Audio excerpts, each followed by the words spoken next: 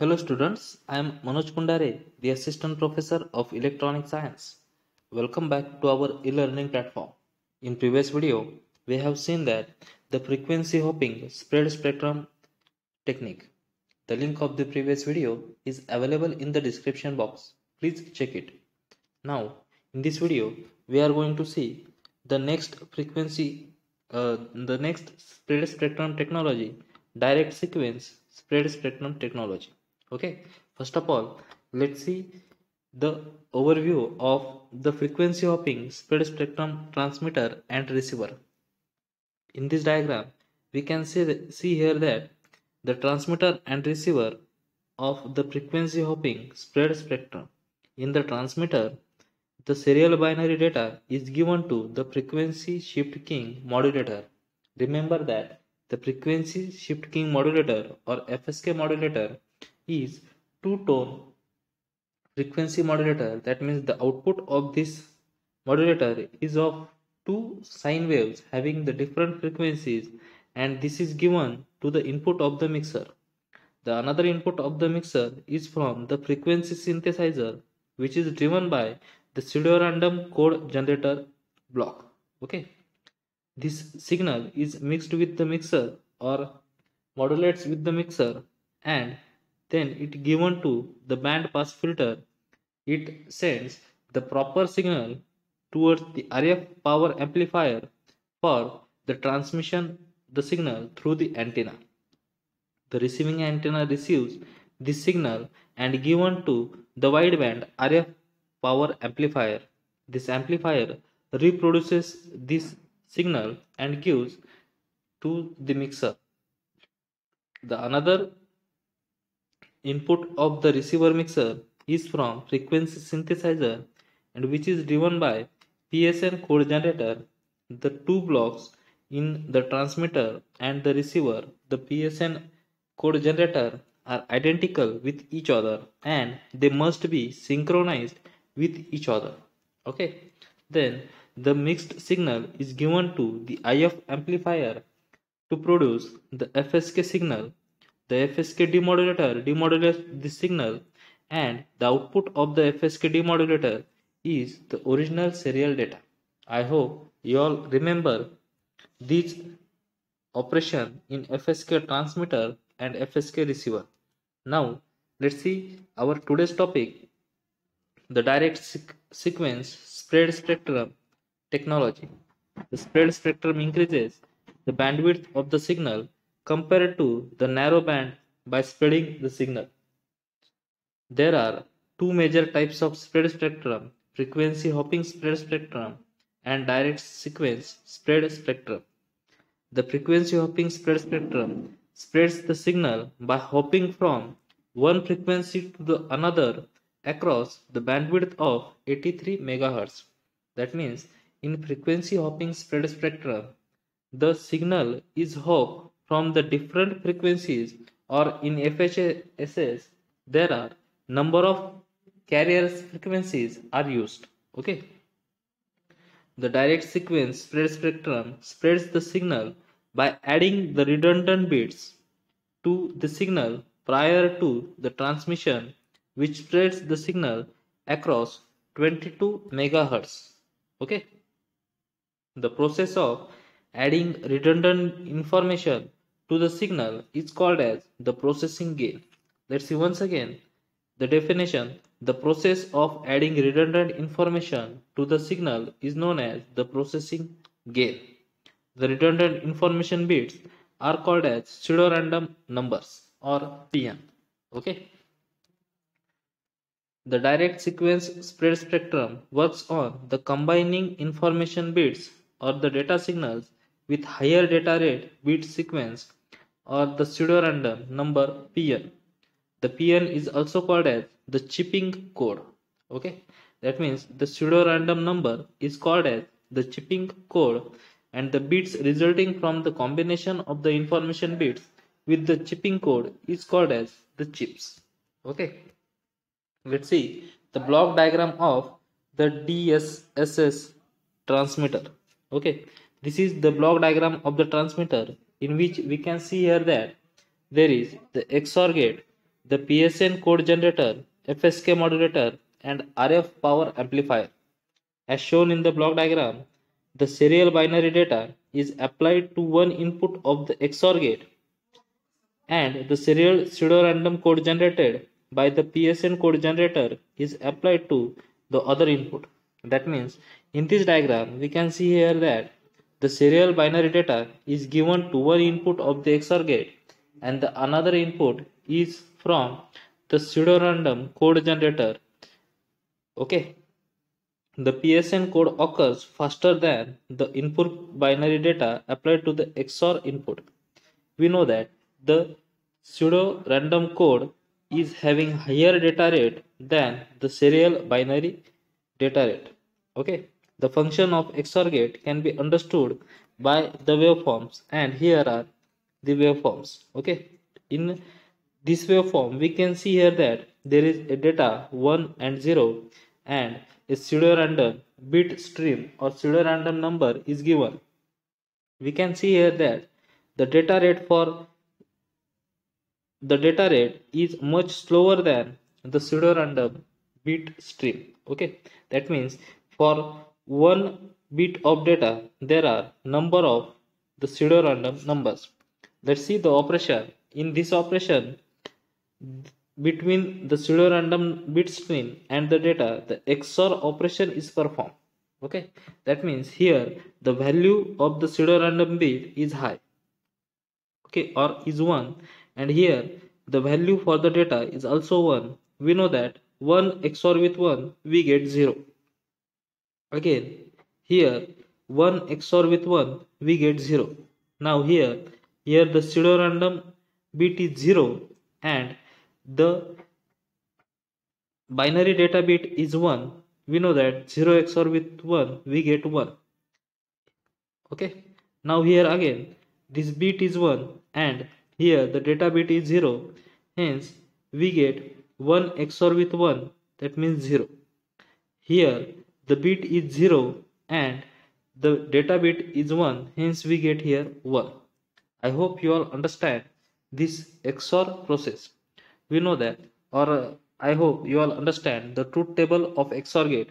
That means if A and B are the two bits and if we want to perform the XOR operation between them then 0 XOR with 0 gives output 0 0 XOR with 1 gives output 1 1 XOR with 0 gives output 1 but 1 XOR with 1 gives output 0 that means whenever both the inputs are similar then we get the 0 output. And when both the inputs are different then we get one output.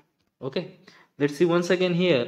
Here first one is the bit is 1 and the data bit is also 1 1 XOR with 1 we get 0 here the pseudo random bit is 1 and the data bit also 1 1 XOR with 1 we get 0 here the pseudo random bit is 0 and the data bit is 1 and 0 XOR with 1 we get here 1 let's see here.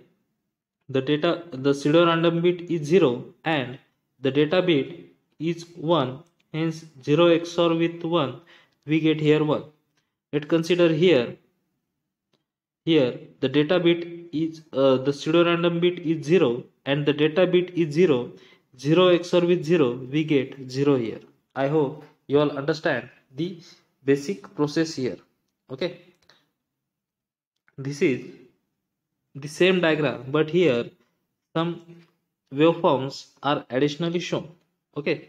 The output signal developed is applied to the psk modulator. That means phase shift keying modulator as shown in above figure the carrier phase is switched between 0 and 180 degree by the ones and zeros of XOR gate output. That means this is the output of XOR gate and we know that this output of XOR gate is depend on the data bit number and pseudo random sequence or pseudo random number okay the XOR operation is performed between the two bits and we get here the output of XOR gate here is the phase of this, this wave is depend on this output. That means whenever there is one output it having the phase of 0 degree. And whenever it has the 0 output it has the phase of 180 degree. I hope you all understand these things. Let's see once again. Okay let's see. Here the output of XOR gate is 1 hence we get here the phase shift of 0 degree. Here the output of XOR gate is 0 hence we get here phase shift of 180 degree. Okay? I hope you all understand this process or these things.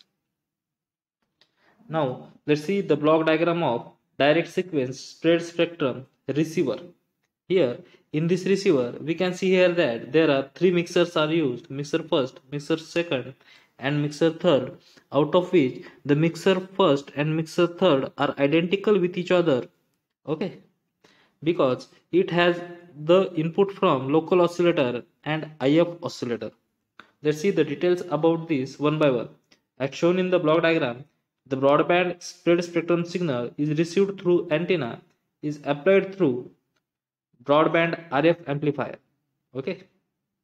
The broadband signal is mixed with the local oscillator to translate the signal down to lower IF in mixer and then connected to the mixer second okay that means the output of the RF amplifier is given to the mixer and the another input of the mixer first is from the local oscillator which is tuned at the RF frequency and this is output of the mixer 1 is given to the input of the mixer 2 the mixer 3 produces the signal using PSN code generator sequence and mixed with mixer 2 to get another IF signal. Here we get another IF signal because mixer 3 is give the signal from PSN code generator. Okay. Then the output of mixer 3 is identical to the output of the mixer 1 but shifted in time. Okay? That means the output of the mixer 1 and output of the mixer 3 is identical with each other but they are shifted in time with each other. The comparison process called the correlation is done in the mixer 2 here in mixer 2 the correlation process is done. The correlation process in the mixer is produce the signal that is averaged in the low pass filter at the output of mixer 2 the original serial binary data is obtained at the output of the low pass filter. The signal received at this level is called as despread signal. Okay, that means here we get the spreaded signal like this, and here we get the despread signal. The direct sequence spread signal spectrum is also called as code division multiple access or CDMA system. Okay. Here is the waveform for the transmitter and receiver is shown in which we can see here that A is the data input and B is the locally generated pseudo-random bit stream B. In C, the A XOR B operation is done. That means here A has the value 1, B has the value 1, hence C has the value 0. Okay, because 1 XOR with 1 we know that 0 by XORing these two bits we get the data to be transmitted. This data is transmitted and it is received by the receiving antenna. Then the reverse process is done to obtain the original data. I hope you all understand these things. Now let's see the advantages of direct sequence spread spectrum system there are number of advantages but let's see some important advantages of it. The first one is the system has very high degree of discrimination against the multiple signal. Okay, that means in this system, the if the multiple signals are present, then the system can differentiate each signal. The interference caused by the multiple reception is minimized successfully.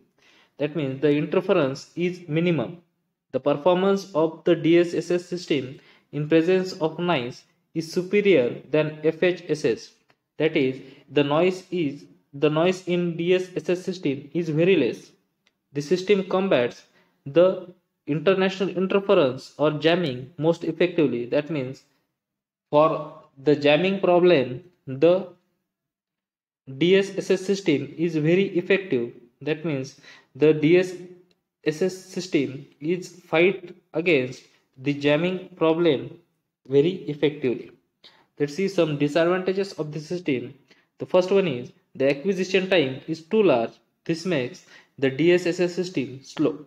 Second one is the channel bandwidth required is very large, but this bandwidth is less than that of the FHSS system. The synchronization is affected by the variable distance between transmitter and receiver. Let's see some applications of this system. First one is to combat the international interference or jamming. That means to fight with the jamming problem. To reject the unintentional interference in obtaining the message privacy in code division multiple access with DSSS. Okay, I hope you all understand both the FHSS that means frequency hopping spread spectrum and the direct sequence spread spectrum technology. Let's see some basic differences between them. First one is in frequency hopping spread spectrum, the dwell time is 400 millisecond while in DSSS there is no dwell time. In FHSS, the lower throughput 2 or 3 Mbps in DSSS, the higher throughput 11 Mbps. In FHSS, the better NV noise base immunity to interference. In direct sequence spread spectrum, the poorer noise immunity to interference.